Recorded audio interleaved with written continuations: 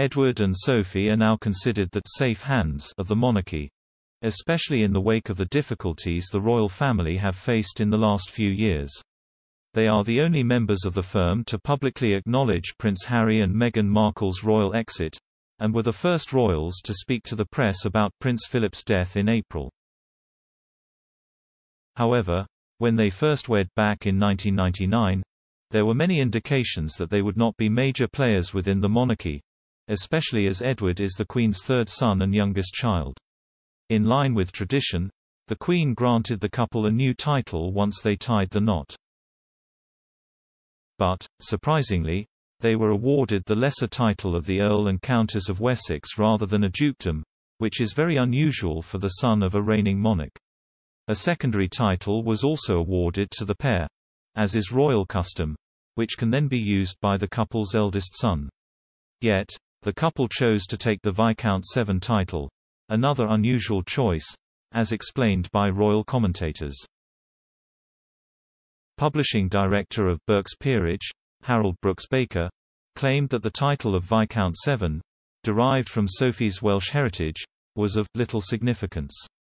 Speaking to the BBC, he explained, Viscount Severn was used by minor members of the royal family years ago. It is an 18th-century title. There is a history of being given a secondary title so the eldest son can have it as a courtesy title. The title acknowledges Sophie's Welsh heritage as it is named after the River Severn in Wales, the longest river in the UK which flows through Shropshire, Worcestershire and Gloucestershire. James, the couple's 13-year-old son, is currently known as a Viscount, the fourth rank in the British peerage system below an Earl but above a Baron, a title known in speech as Lord. Edward and Sophie decided not to grant their children HRH titles either upon their birth, even though they were entitled to such a status as the Queen's grandchildren. Sophie revealed last year that James will make a decision on whether to hold onto his royal title and style when he turns 18, a choice which will also be presented to his 17-year-old sister Lady Louise Windsor. Sophie told the Sunday Times, We try to bring them up with the understanding that they are very likely to have to work for a living. Hence we made the decision not to use HRH titles.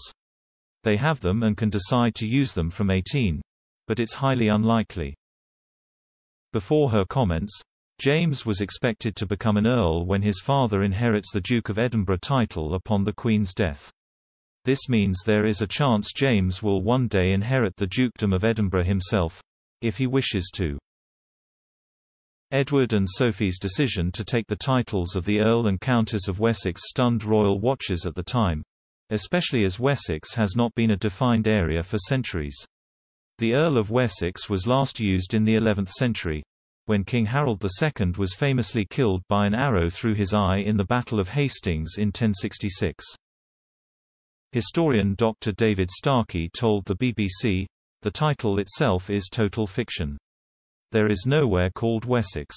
The title has not been used for a thousand years, is it the right way to celebrate the third millennium by going back to the first?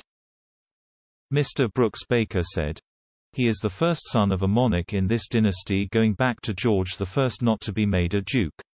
He has been promised the title of Duke of Edinburgh but we don't know if there will be a monarchy in the future. For his children not to be styled prince and princess is a huge departure as well.